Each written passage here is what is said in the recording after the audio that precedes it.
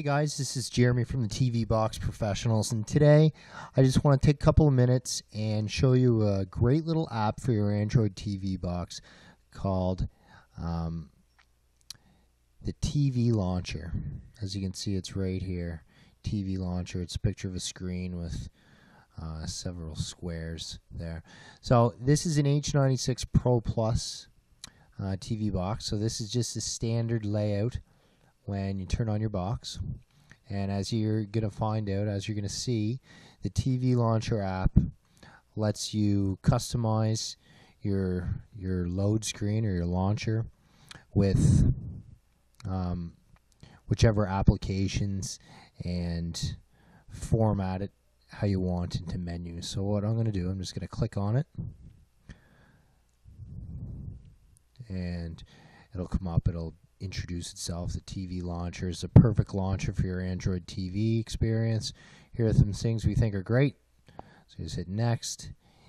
Uh, launch your favorite app right from the home screen. Find them in the app drawer. I'll show you that. Create categories or sections for all your favorite categories. Use hundreds of tile images created and shared by many users, so you actually have the option to upload pictures and create tiles for each individual app, which is actually a really awesome feature.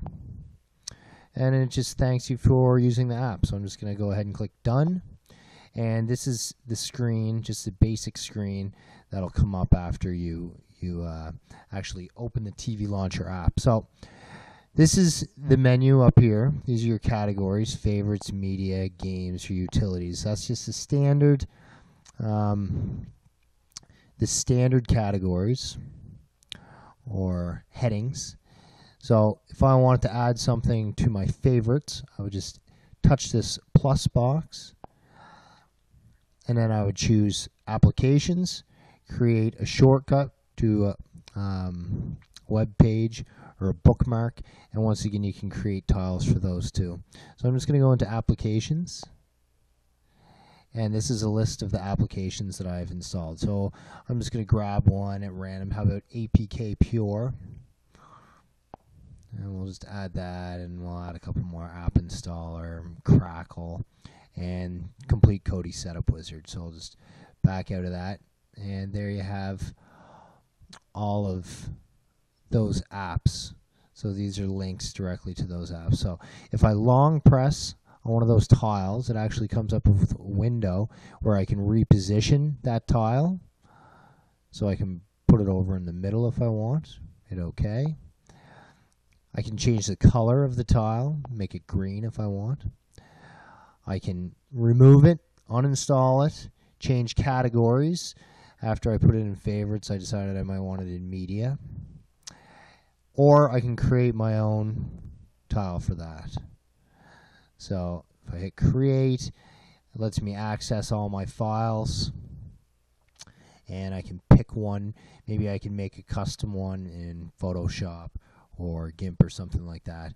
And then the whole community that utilizes this app will have access to it. But I'm just going to pick one of the ones that was already made. So I'm going to I like this one right here. I'm going to apply it and just I can show you here that people it gives you the opportunity to rate it also. So this is the most popular one for APK Pure. So same thing goes for if I want to put a custom tile with Crackle. Well, Crackle doesn't have very many, very many available tiles, so you might want to create your own or just use the standard one. So on the the menu, we can manage our sections. We can create a new section, right? Call it.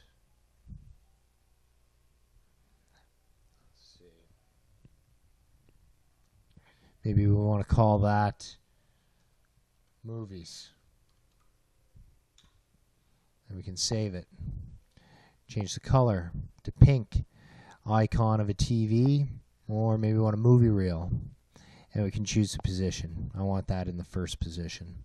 Or we can delete it if we made a mistake. So as you can see now, all of there's an additional heading. Let's back out. There it is, movies up there. So if I wanted to take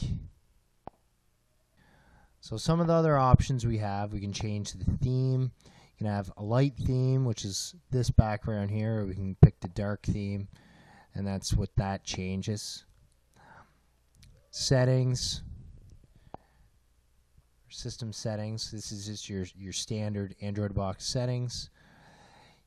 Some of the Android boxes or some of the devices doesn't have uh, application wallpaper support. So you can turn that on, and then you'll be able to have a wallpaper. I've only found that actually happens maybe with the A95X and a few more. We can change your wallpaper. We can choose from whatever we have stored either on our box or on a memory stick. You can enable a space animation background, which is basically just stars shooting by. And other animations. For $2.99, you can remove the ads, but they uh, they don't really bother me, so I I wouldn't pay for it. Or you can donate five dollars to the developer. You can use icons at the top if you prefer instead of the headers that we were creating earlier. So if we turn that off, you can see that the the icon that we chose for movies, the movie reel is there.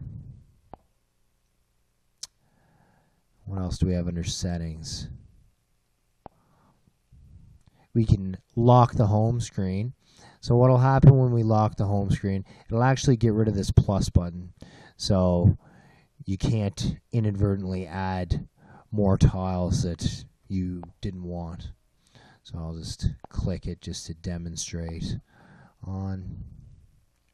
And as you can see now that's gone. And the last option is we can change the number of grid columns on the home screen. So you can put it up to five which is handy but I actually prefer three it gives it just a clean look there's not too many and there's not too few the last thing I'm going to demonstrate is uh, the list of all your applications over on the side. You can sort them alphabetically, filter them, or put them in a grid format. So this is your uh, it's your launch bar. You can go in here and pick any one of these, and it'll just launch it. So that's it. Once again, this is Jeremy from the TV Box Professionals, and I just did a quick demonstration of TV Launcher for your Android TV box, or it's also available on uh, your smartphone, your Android enabled smartphone. Okay, guys, thanks for watching, and we'll see you next time.